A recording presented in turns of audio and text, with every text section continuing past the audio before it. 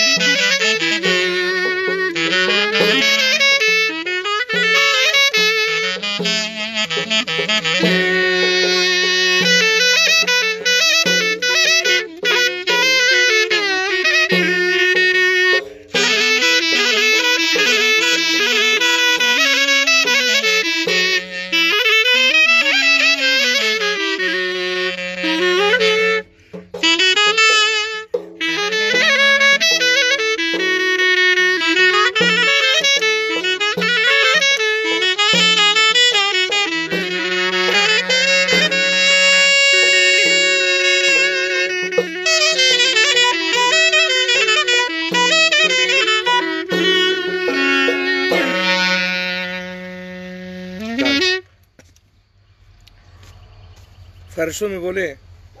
Παρακαλούμε, παρακαλούμε Γιάννη. και που λες Γιάννη.